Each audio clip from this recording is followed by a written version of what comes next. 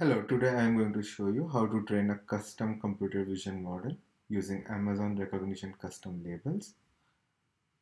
This tutorial assumes that you have already created a project and a dataset. If you haven't already created a project and a dataset, please check out our other videos to show you how. So let's get started.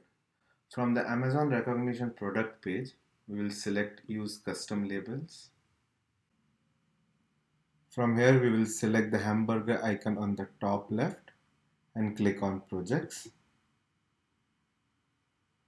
Here we will select the home classified project which was created in the previous video. From the previous video you should already be familiar with this console which provides a step-by-step -step direction on how to train and evaluate your model. As part of the previous video, we created a single dataset which was automatically labeled by Amazon Rekognition custom labels. In this video, we will go to the next stage, which is to train a model.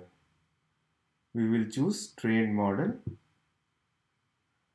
and this takes us to the train model console. We will scroll down and click on train model. Since we used a single dataset, Amazon Rekognition custom labels when training the model for the first time will automatically keep aside 20% of the dataset as test dataset and will train on the remaining 80%. Once the model is trained, it will use the 20% test dataset to evaluate the model's performance.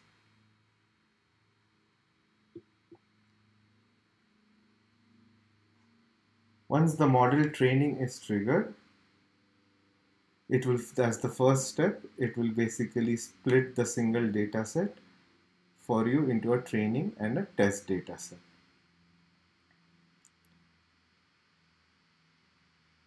And after that, it will take you back to the home classified project console. We can see that our model has moved to the training in progress status under the models tab.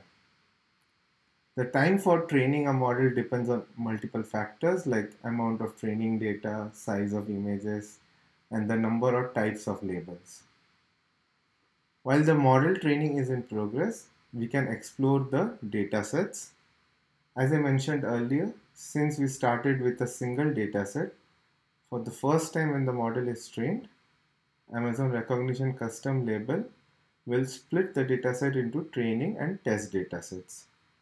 To explore that, we will choose dataset under the home classify project. This will take us to the datasets console page of the home classify project, which displays the training dataset under the training tab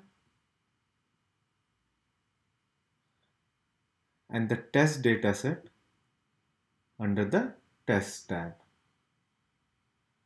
This console also provides you capability to add images to the existing training and the test dataset using the action button.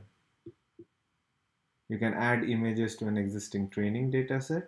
You can also add images to an existing test dataset. So since we have explored the training and the test datasets for this model, we can go back to the home classified project console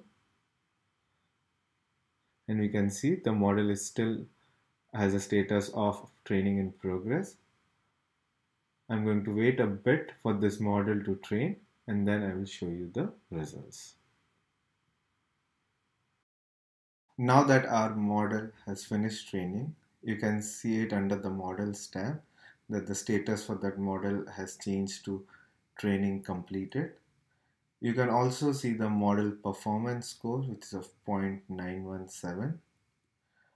We can get more details about the model by choosing that model and it takes us to the model detail page where it provides details around how much time it took to train the model. So in this case, it took around 1.3 hours to train the model It provides evaluation metrics like the F1 score, the average precision, and the overall recall.